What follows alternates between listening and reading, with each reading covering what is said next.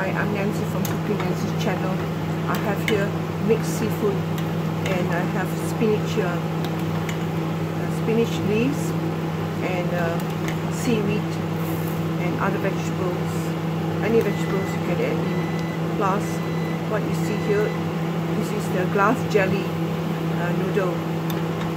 Call it uh, mung bean noodles, or in Chinese, it's called it tang hun. Hokkien, tang hun.